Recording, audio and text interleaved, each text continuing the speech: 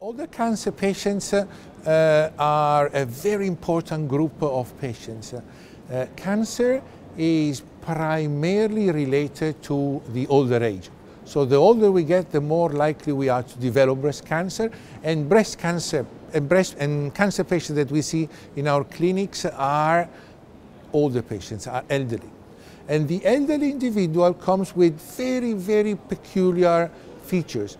They have uh, um, cognitive problem, they've got malnutrition, they lack mobility, they lack psychosocial support. They are very unique individual. And we sometimes forget um, of the differences and uh, the problem we have is that we do not offer all the patients the best treatment, the most appropriate treatment.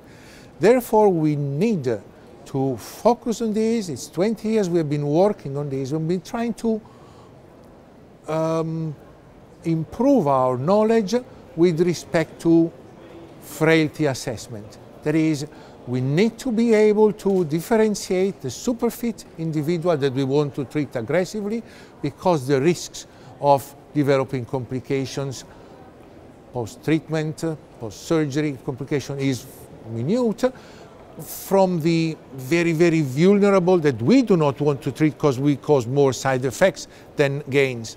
And there is a huge number of patients in between that we struggle to assess. So it's not about the number of comorbidities, it's, it's really about frailty assessment. This can be done successfully with quick screening tools that we can use in our clinic. I use it regularly in the waiting room and when they come to me, have clear understanding of how fit they are and what we can do for them, tailoring the best treatment.